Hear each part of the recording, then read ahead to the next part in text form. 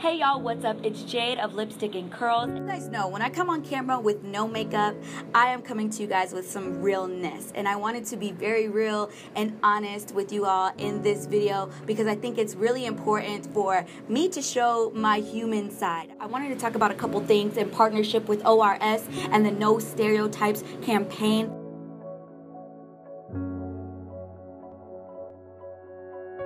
No stereotypes to me begins with letting go of preconceived notions about things that you don't know, about people that you don't know. And I think that a lot of times we are quick to judge anything that is different than our immediate surroundings or what we grew up knowing. So I've grown up in a very diverse environment, living overseas in different countries and also in America, being biracial, and just growing up in an area where being unique was not always easy it was really easy to fall into different phases or different fads or different things that were popular or trendy at the time. And one thing that I was able to preserve through all of my different life experiences was the ability to maintain myself no matter what was popular at the time.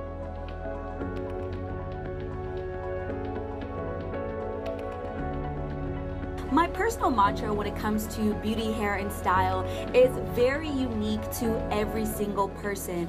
I personally get inspired by everything around me. So I get inspired by fashion that I see on the runway and fashion that I see on the street. I also get inspired by different hairstyles that I see on different women, different textures, and then also just the environment, colors, and just vibrancy in the world. And that's where I get my personal style from. As a beauty influencer, I love the fact that I get to introduce and reinvent trends every single day. When it comes to hair and beauty and style, I believe that you can do anything and everything as long as you're confident. I love being unique, and I believe that is the greatest power that each and every one of us has.